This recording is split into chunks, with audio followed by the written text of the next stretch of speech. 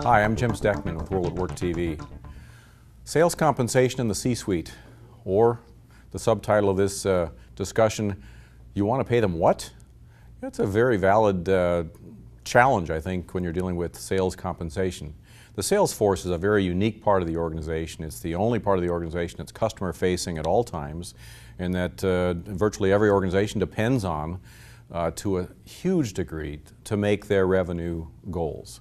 And their compensation is very different as well, especially if you've got a very aggressive pay mix. If you've got a very aggressive pay mix, uh, to the C-suite, they look at that and say, what? You want to pay them what? And yet the sales force is looking at that as potential income, all the way up to making the max uh, on their plan. So let me offer you a couple of ideas in terms of how you can justify sales compensation and, uh, and, and, and promote it and manage it the way it should be to your C-suite so that everybody embraces and endorses and you know, gets behind not just the sales force but the, the way in which you're motivating and incentivizing the sales force. Uh, to start with, think about and make sure that you've got and, and that the C-suite understands uh, a, a, team uh, with the right people at the table and a governance process that makes sure that all the voices, all the appropriate voices are heard to make sure that you're really thinking about the go-to-market strategy and, and, and how, you, how you can best get the sales force engaged. The right people at the table, the right people on that team is critical because if that's the case, then you're obviously going to, as you talk to the C-suite about sales compensation, you're going to have representatives from the finance organization, you're going to have representatives from the sales organization, and certainly it's uh, advisable that you've got uh, representatives from the HR organization. If you've got that kind of coalition, if you will, that's uh, a part of the sales compensation design process, that's going to really help you uh, sell your plan to the C-suite. And making sure that you've got the right people at the table and that you've got a governance process that uh, where the roles are really clear and you've got a process for evaluating your plans and uh, implementing new plans and, uh, and understanding how well your plans are operating, which brings me to my second point, which is make sure that you've got a process by which you can, uh, you can put in front of your C-suite an inventory of all of your incentive plans.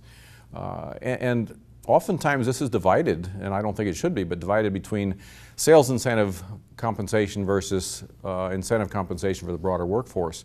I think you really should take a look at all of your incentive plans as part of a, a cohesive whole, if you will, the goal of which is to drive sales performance uh, for your organization. And you've likely got a variety of different uh, channels to market. You've got a variety of different uh, uh, sales roles and, uh, and sales teams. You've probably got a global organization.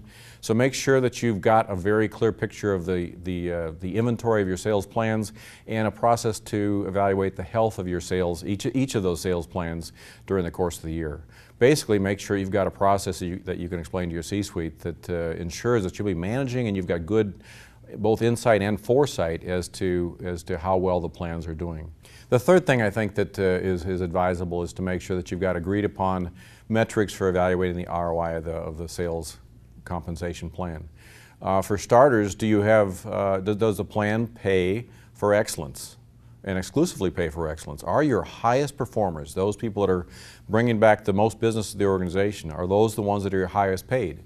And are they the highest paid because of what they've done this year? Or do you have some kind of a sales comp plan that allows people to kind of live off past performance, what we think of as an annuity plan as opposed to actually a pay for performance sales compensation plan? So that's, I think, a real important point to make sure that you can describe for your C-suite uh, uh, stakeholders exactly how the plan rewards for performance and, and how, in fact, it's proven out because your top performers are the ones that are really uh, getting the highest rewards. The second thing you should be able to talk to the C-suite about is your compensation cost of sales and do that by channel so that you can really understand the return on investments you're getting for uh, each of your plans and each of your channels to market.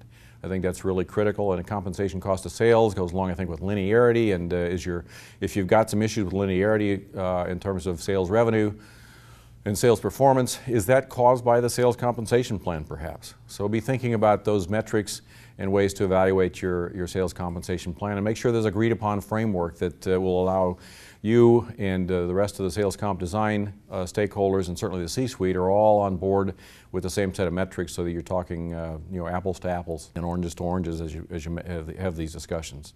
The final point that I would underscore is uh, the point around talent. I think that's where you coming from an HR perspective, a compensation perspective, should have a unique and important perspective to offer, and that's with regard to talent.